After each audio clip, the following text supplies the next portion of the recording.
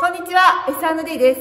今日は二人組でできるミートを良くするための練習を紹介していきます。この練習は効率よく手に当たる感覚を覚えられる練習なので、スパイクの前や練習が始まる前なのに、ぜひ取り入れてみてください。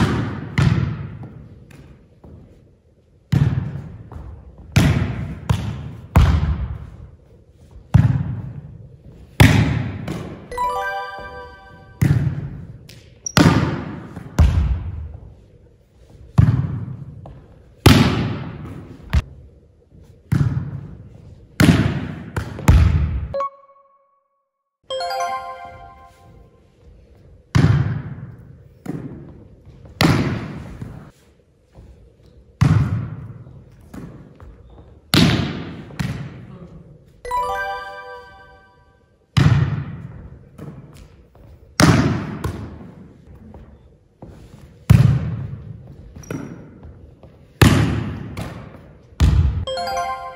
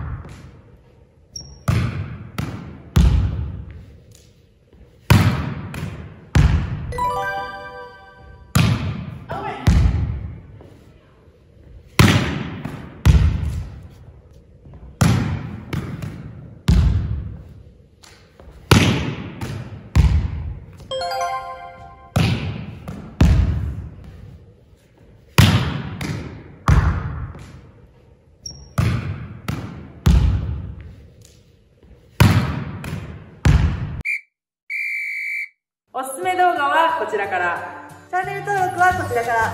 インスタ TikTok Twitter もやってるのでぜひ概要欄からチェックしてみてください。では次回の動画でお会いしましょう。